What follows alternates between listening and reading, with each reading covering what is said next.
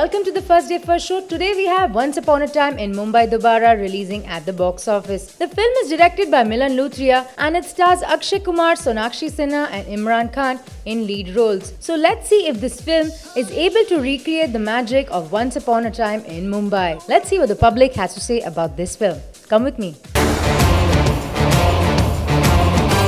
पीने की कैपेसिटी जीने की स्ट्रेंथ अकाउंट का बैलेंस और नाम का खौफ कभी भी कम नहीं होना चाहिए। It's a good movie bullshit अच्छी अच्छी है। दोबारा को दोबारा कोई नहीं देखेगा। ठीक थी ठीक। इट रियली सक्स अच्छी है अच्छी बहुत अच्छी the movie is like totally dumb nice nice movie Nice movie. I am not satisfied with the picture Fine.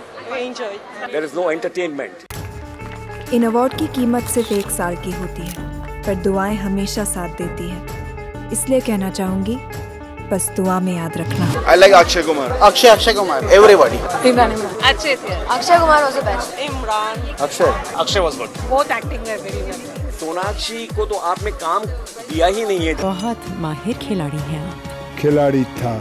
अब पूरा खेल।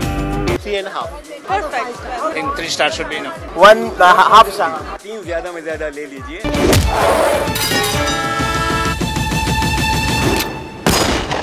And now it's time for the biscuit verdict. Well, we've received mixed reviews on this one, and many of them have been openly vocal about their dislike for the film. So we think the film is an average one. For your daily dose of news, entertainment, gossip, and scoops, keep watching Biscuit Be Now.